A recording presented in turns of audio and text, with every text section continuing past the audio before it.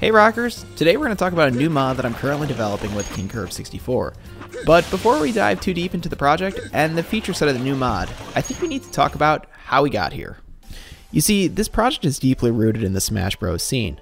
The scene has risen from couch battles with family and friends into something much, much bigger, with local, regional, and even national tournaments. Now, the controller of choice for many Smashers has been the GameCube controller, a controller which has been impressively relevant for over 20 years. Naturally, as more people gathered together to play in events, showing off your customized controller kind of became a thing. For those of you who have not been there, it's kind of akin to the street racing scene a la Fast and the Furious. Now, the idea behind this mod is to take the Shinewave, first introduced by Siri, to the next level. For those of you who are unaware, the Shinewave mod is a reactive LED mod that reacts to you and your actions in game. As someone who's dedicated tons of time to the GameCube and GameCube controller modding scene, the idea of a mod that reacts while you play the game has always been the most desirable aesthetic mod. And trust me, this thing is going to get you some serious attention. So in this video, I plan to talk a bit about the history of the mod, talk about where we are in development, and finally show off the installation and of course, show it in action. So let's roll that intro and let's jump into it.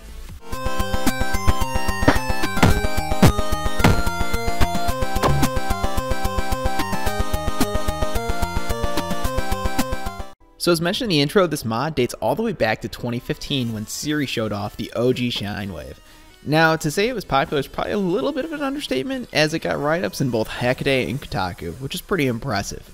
In general, this mod was light years ahead of what anyone else was doing in the scene at the time. However, as time passed, it never really saw a commercial release, and there weren't any new firmwares other than the one that Siri initially showed us in his original video from 2015. While the concept was revolutionary, it was far from optimized. Now, let me explain what I mean by that. First, the installation was unrefined and difficult, and second, the code only worked on GameCube and Wii, and not the Wii U or the Switch. And finally, there's still that problem of the code only being designed for Falco. As a result, this amazing mod sat for an extended period of time without enough people using it. However, in early 2020, a coder and modder by the name of KingKirb64 reached out to me, wanting to collaborate on a new and improved Shinewave. I was very hesitant at first as I knew the technical hurdles were not small and the project required a lot of effort to bring it to where I wanted it to go. However, after a quick demonstration of some of the code he wrote, I was pretty easily convinced. You see, he figured out a way to consolidate the code and make it smaller, as well as customize the animation set to make it whatever you wanted it to be, effectively knocking out one of the three major hurdles that were previously mentioned. So with that in mind, we split the remaining two tasks, which was to give the Shinewave Wii U and Switch compatibility and make installation easier. And well, here's what we came up with. First, let's kick it off with the hardware. Designing purpose-built hardware that fits into an existing product can be a very iterative process, and it often requires multiple versions of PCBs to be designed, prototyped, and made. Fortunately, having a partner like PCBWay has helped me a whole bunch. For $5 plus the cost of shipping, I can have 10 PCBs made and shipped out to me within 24 hours. Anyway, check out the link to PCBWay in the description below, and thanks to PCBWay for their help with this project and sponsoring this video. The goal from a hardware perspective was to make installation as simple as possible to allow the mod to be more accessible to a wider audience of people. The hardware consists of a main PCB, a C-stick PCB, and finally a quick solder board, or QSB for short. The main PCB contains the microcontroller, some passive components, and a flex cable, which eliminates the need to solder any wires to the rest of the boards. Now, speaking of soldering, there are three ways to do this mod. Two of them involve soldering, and one is totally solder free. Let's talk about the soldering first, and then we can get into the solder free. The first soldering method is more of a future proofing and involves soldering from this breakout QSB board to the three points on the bottom of the main Shinewave PCB, and then simply running a wire between them. I don't plan to say much more about this method as I don't expect it to be very commonly used, and like I said, it's more of a future proofing. The second way is to solder the three points of the QSB and run a flex cable to the main Shinewave PCB. This method involves soldering 3 points in total and is really easy to do. From there, it is just a routing exercise to make sure all the flex cables are run to your liking, and if you so desire, maybe just a tiny bit of hot glue to hold down some of the flex cables and make everything look really tidy. This is the method that I would recommend. The reason I recommend it is the soldered connection will always be more secure than a solder-free option, and the connections will be more solid. However, that didn't really stop us from coming up with a solder-free option, so let's talk about it. The solder-free version of this mod is identical to the method we just discussed, with the only difference being that you put the adapter board into the cable header socket that holds the cable to the controller PCB. From there, it's simply a matter of running that flex cable to the main Shinewave PCB, and the rest of the install is no different than the previous method noted. The only downside to this is the repeated insertion and removal of the solderless adapter will eventually wear down the cable header plastic over time and make the connections not very solid. Again, this is the reason why I prefer the soldered method. But hey, it worked really well for us in testing, so we figured it might as well be an option for everybody. But yeah, as I continue to do the install here, I'm pretty much just at the point where I'm sticking down the PCBs and, you know, at this point just really routing cables and making sure that my cable management looks really good. You know, with the two flex cables, it just takes a little bit more time to get it to look really nice, but uh, honestly, it's pretty easy to do, and the only thing I'm going to add is maybe just the tiniest dab of hot glue to hold those flex cables in place. But yeah, one thing that was pretty fortunate was in the design of the original GameCube controller, they kind of added some spaces for cable management, specifically with the rumble motors. So, hey, we're going to take advantage of that here, and we're going to route one of our flex cables through there, and that's for our C-stick board. And like I said, just use that dab of hot glue to hold down the one that's going from our quick solder board to our main Shinewave PCB.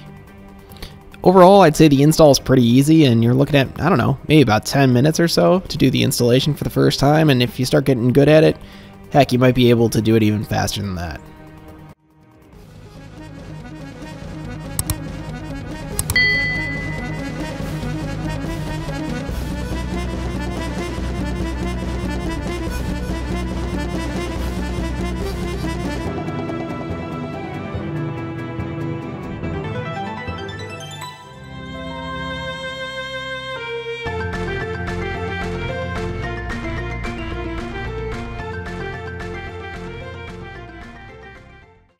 But yeah, just like that, the mod's installed, and uh, I think that's enough of me talking.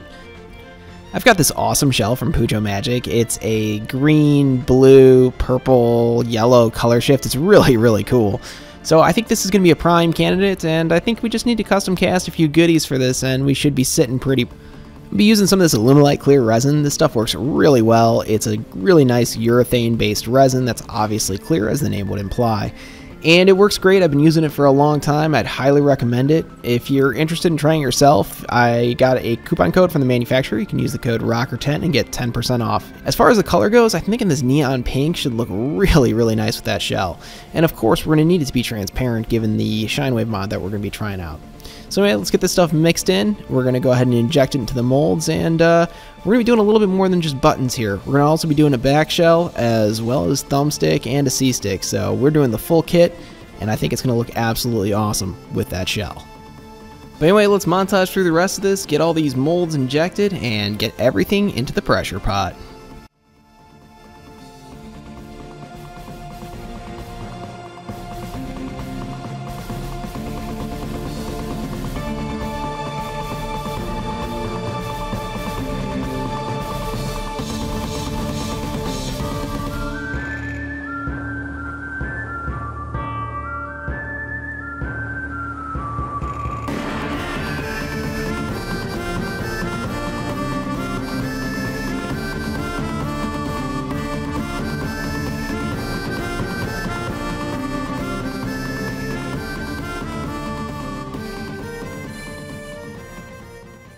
And with all those parts finally out of the pressure pot, it's time for reassembly.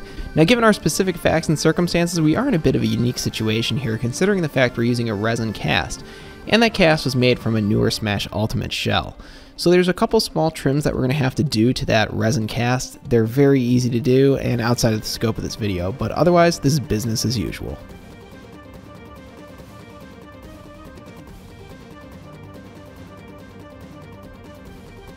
Alright, now this thing looks absolutely awesome, and we finally have a proper controller to show off this new mod. So with a proper controller built out, it's time to check out what this thing can actually do. Today we have created custom code for 30 of the 78 characters in Smash Bros. Ultimate. Throughout the video I've shown some of the Mario animations, and while it's probably not possible to feature all 30 of the characters, I do want to show some of my favorites. However, before we get into character specific animations, I want to briefly talk about what modes will be available. In total, there are 9 different modes, And the modes can be selected by hitting both start and left on the controller at the exact same time. And the first mode is your character specific mode, but the second mode is what I call classic mode.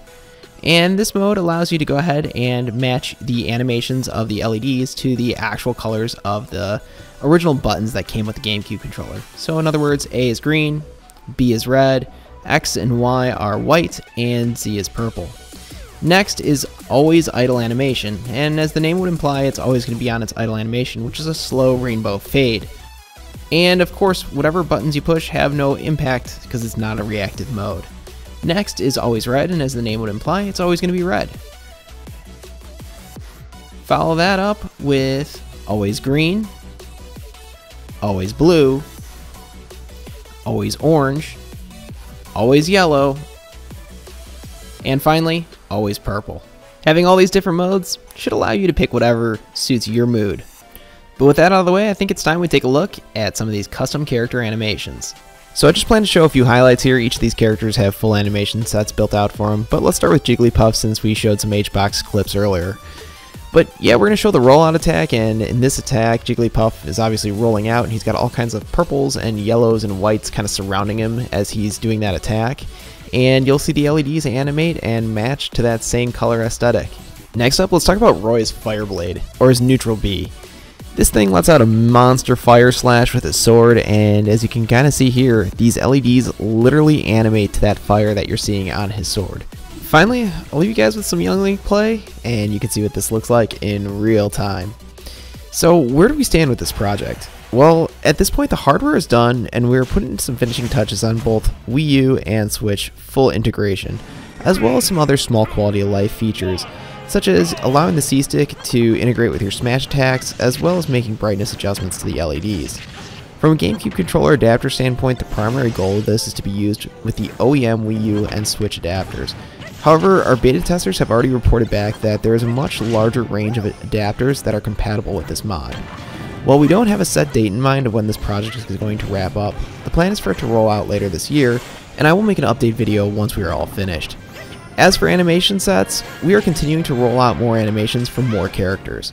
While it's doubtful we'll have animations made for the full cast of characters in Ultimate, we'll have them done for all the characters in Smash 64 and Melee, as well as some of the most popular characters from the rest of the games.